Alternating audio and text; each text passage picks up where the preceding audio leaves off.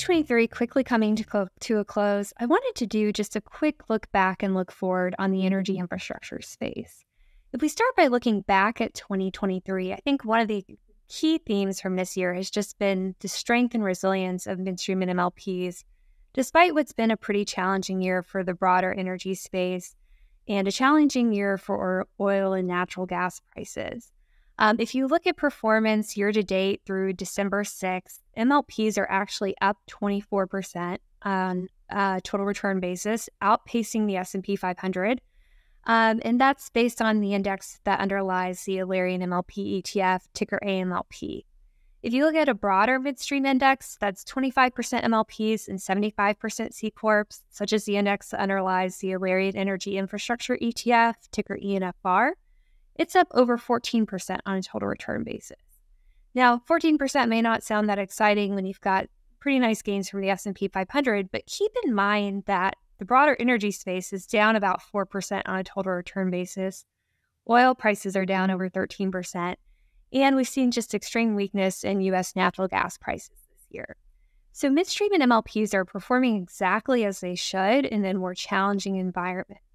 Now, we have seen M&A activity in the space benefit MLPs, namely Magellan's buyout and the 22% premium has helped MLP performance this year.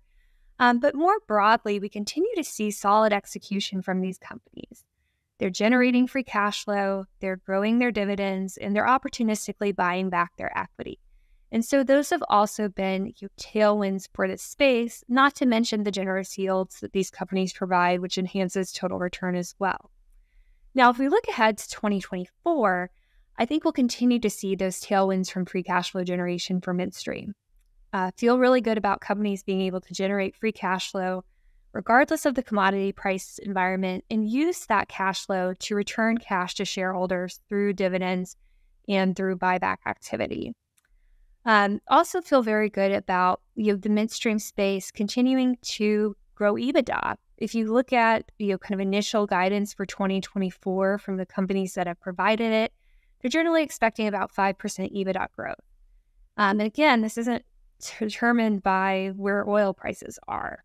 If we look broadly at kind of the macro picture for 2024 from an energy perspective, I think the outlook for oil is a bit murky. I think OPEC Plus will defend a floor in prices, but I think it's harder to, to identify upside drivers for oil for 2024.